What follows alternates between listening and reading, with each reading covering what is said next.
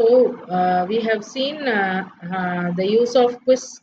So next what we have to do is we have to actually include our uh, uh, question bank in this. So how do we get it? In DSA, when you click this Aiken, you have the more.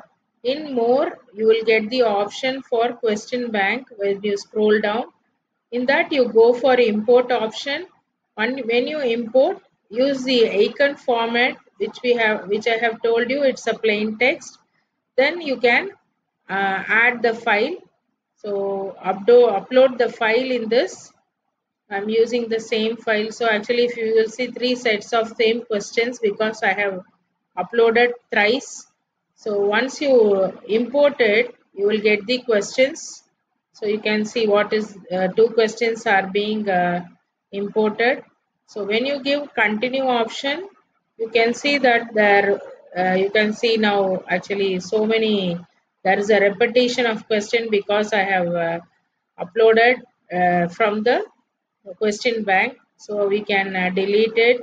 So like this you can uh, try to have the questions in from the question bank or you can also have create your own question. So this question can be of any of these types. It can be a multiple choice true or false so suppose i choose a multiple choice question so i can uh, i can try to include that question also in my uh, quiz program.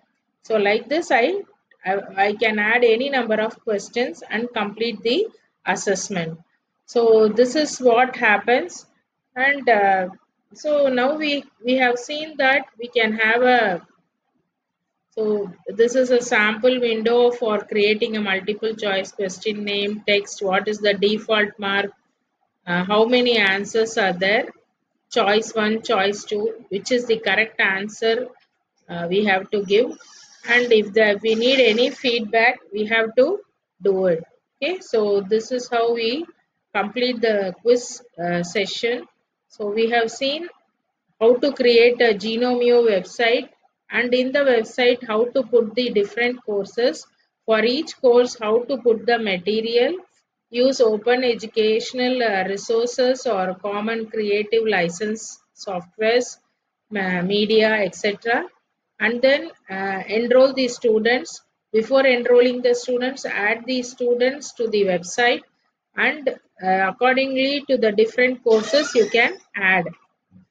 On uh, design develop and delivering the digital content hope it was uh, useful to you thank you for your listening i thank the management principal faculty members and iqac for giving me this opportunity to share uh, whatever uh, I have known. Thank you. Thank you very much.